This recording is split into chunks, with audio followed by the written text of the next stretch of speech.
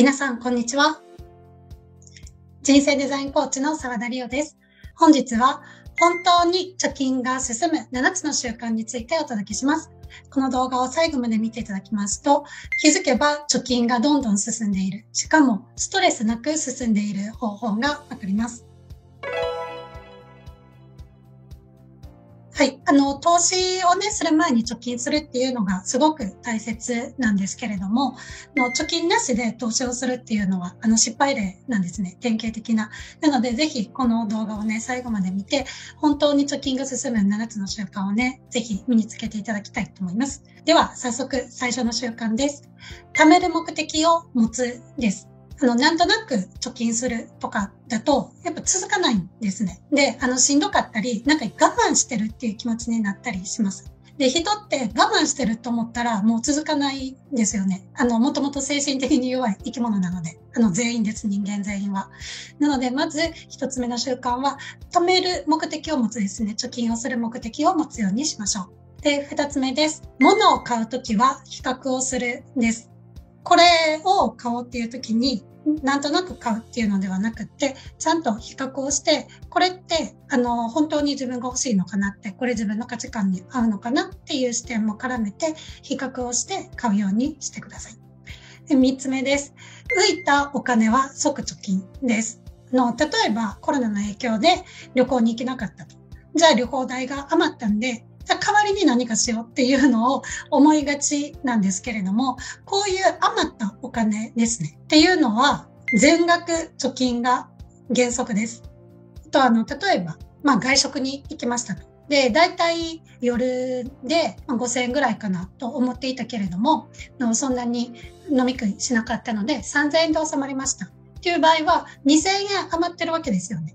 まあ余ってるっていうか浮いてますよね。で、その浮いたお金を、じゃあせっかくだから美味しいスイーツ食べようとか、なんかそういうなのに使うのではなくって、こういう浮いたお金を全部貯金に回すっていうのが3つ目の身につけていただきたい習慣です。4つ目です。見栄を張らないです。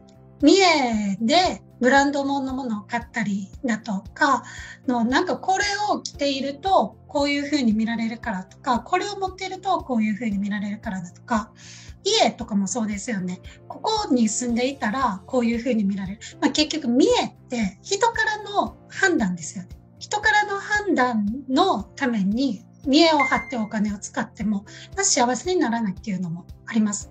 なので、見栄を張らない。っていうのも大切なポイントになります。5つ目です。せっかくだからと奮発しないんです。例えば結婚式だったら、もうオプションで1万2万、もうちょっとね、金銭感覚が狂っちゃって、数万円プラスになるっていうのに、もうどんどん使っちゃうだとか、ありますよね。とか、あの、旅行に来て久しぶりに旅行に行くと。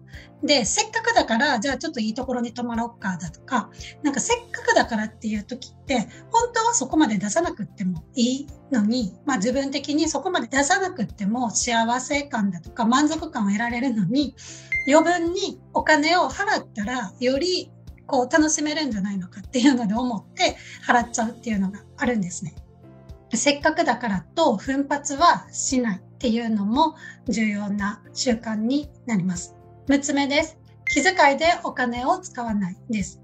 なんとなくこ、ここって自分が払ってた方がいいかなだとか、気を使ってお金を使わないんですね。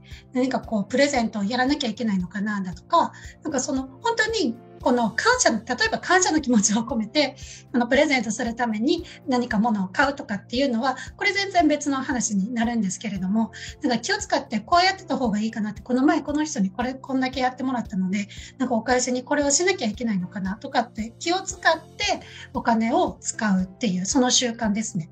その習慣は捨てましょう。7つ目です。価値観を満たすところだけお金を使い切るっていう点です。これにはこれだけ使っていたからっていうので、なんとなしに使い続けないっていうことですね。はい、ここは自分の価値観は満たすなっていうところは、まあお金は使い切る。まあ使い続けるっていうのはしていただいて全然よくって。逆にそこは節約していただきたくないんですね。辛くなっちゃうから。一方で価値観を満たしていないところまあ、なんとなく使い続けているっていうところは、お金は使わないっていうのを習慣づけていただきたいです。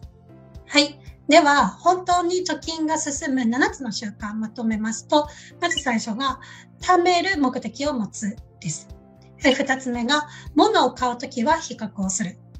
3つ目、浮いたお金は即貯金。別なものは買わないっていうことですね。4つ目が、見栄を張らない。人の視線は気にしない。で5つ目が、せっかくだからと奮発をしない。